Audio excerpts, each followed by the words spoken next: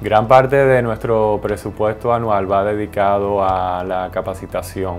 No solamente la capacitación en conceptos, en maestría de alto grado, sino la capacitación técnica. Parte de nuestra labor es esa capacitación eh, a cada uno de nuestros empleados.